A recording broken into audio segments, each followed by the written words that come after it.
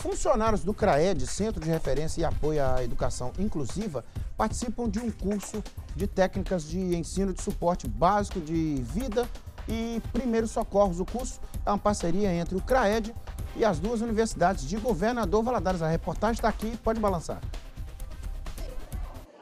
Manobras de desengasgo, convulsão e de ressuscitação em casos de parada cardíaca foram algumas das técnicas apresentadas na palestra.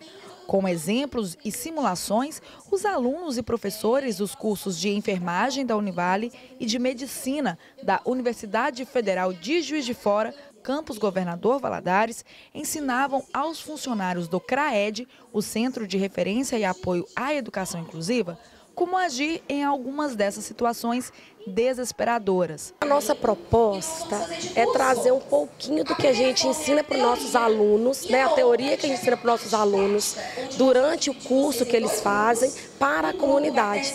A gente sabe que a extensão ela é um dos pilares da universidade. Então essa parceria da universidade com a sociedade, com a comunidade, é extremamente importante, tanto para a comunidade quanto para o treinamento dos nossos alunos. No CRAED, são atendidas pouco mais de mil crianças com deficiências variadas e quase 130 com altas habilidades e superdotação.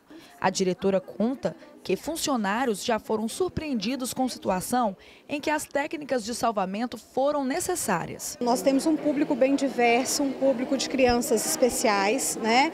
E já aconteceu com a gente aqui até dos pais mesmo passarem por situação de passar mal, de ter convulsão, né? E Graças a Deus, né, a gente tinha pessoas que sabiam como lidar com a situação, mas a intenção é que todos os nossos profissionais tenham capacidade de atender, fazer os primeiros socorros para ajudar as pessoas aqui dentro. É, crianças, né, nós temos muitas crianças que às vezes têm epilepsia, graças a Deus a gente não tem muitos casos que acontecem aqui dentro, né, mas é necessário que o profissional né, esteja é, apto, né, no caso de um eventual situação dessa saber agir. Em 2018 foi aprovada a Lei 13.722, que torna obrigatório o treinamento de primeiros socorros, o atual suporte básico de vida nas escolas de ensino básico e também de recreação infantil. Essa lei foi chamada de Lei Lucas, em menção e homenagem ao menino Lucas Begali, de 10 anos, que morreu engasgado durante um passeio escolar. O conhecimento liberta, né? Quando a gente tem conhecimento, tudo é mais fácil.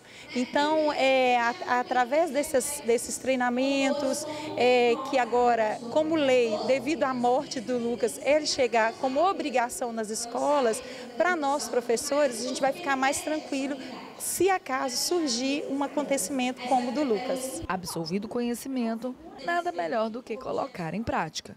Então aí você vai iniciar as que a gente chama, né, nessa contagem, cinco, duas, três, quatro, cinco, volta, confere, vê se expeliu, se houve a resposta efetiva, não houve, já inicia as cinco compressões.